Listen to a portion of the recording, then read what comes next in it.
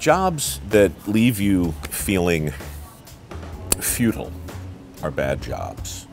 It's an observation made in, um, in concentration camps where workers who were essentially forced to move one pile of rocks across the camp to the other and then move the same pile back not only expired faster, but many went insane.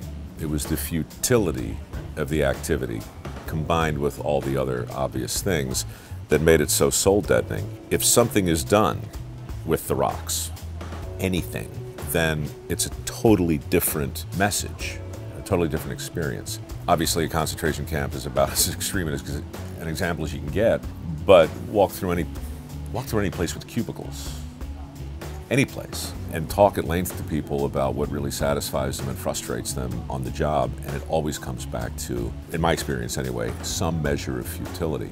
Part of what makes a thing ostensibly futile is uh, visual cues. So not knowing when you're done, not being able to look around and go, ah, my job is complete. You know, who's ever working, you know, back here, their, their desks, they look an awful lot the same at 5 p.m. as they do it at 8 a.m. Doesn't mean they didn't get anything done, it just means that at a glance you can't tell. People with dirty jobs, people that I cross paths with most frequently don't suffer from that. Even on the most rudimentary level. I'm a ditch digger. There's no ditch here. At the end of the day, there is. That translates into virtually every activity that I've personally been involved in in the last 12 years. And you can't overstate the importance of it.